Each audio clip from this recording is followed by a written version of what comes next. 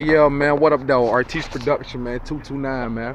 I'm outside of this little bar right now. Uh, let's see.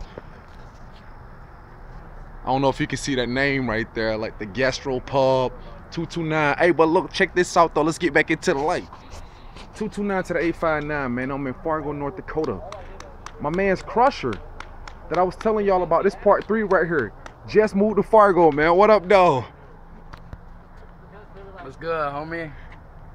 Taking over, right? That's right. City to city. City. Georgia in the building.